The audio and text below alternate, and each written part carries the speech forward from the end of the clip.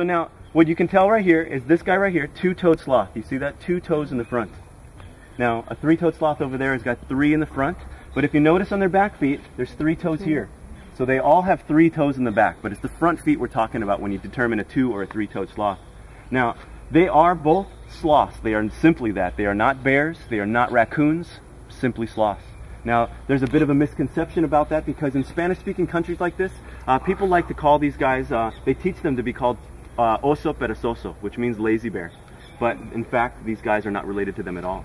The closest animal that these guys are related to in the animal kingdom are armadillos and anteaters. And they're very, very old animals, so you got to go really far back to find that fork.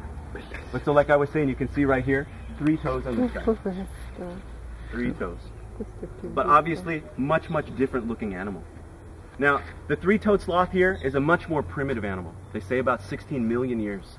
When these guys were first on the planet, they were giant sloths, 20 and 30 feet tall. Unfortunately, this one here that's on the ground was hit by a car about a year ago. Aww. And now these guys are very, very smart animals. And what they'll do, they'll sit up in the trees, near the road, near garbage piles, and they'll wait for cars to drive by. And when they drive by, their headlights shine the road and rodents are running around the garbage.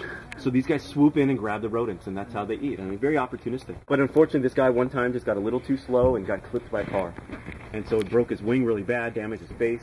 We healed him up as best as we could, but again, we were never able to set that wing right. Same kind of thing with this hawk in the front. This is a broadwing hawk, and its right wing is still broken. It's still dangling. We tried setting that one two times, but uh, it just never healed right. And so we currently have three birds that cannot fly. Then you get this one, the margay. Now there's an ocelot, which is a little bit bigger, very similar looking, and then you get the big cats, the puma, the cougar, and then the big jaguar. So this guy right here is a full-grown margay. He is two years old. He is a third the size of a jaguar. You can imagine how much bigger that would be and how difficult that would be to actually house with him. But so, this guy is actually uh, um, very unique in the sense that it is one of the only cats in the world that has the ability to run headfirst down a tree as fast as he can run up a tree. Most cats climb up and get stuck and they got to shimmy down backwards. This guy has the ability to pivot out his back hips. So it adds the extra balance and mobility, better grip on the tree, and they can run up and down no problem.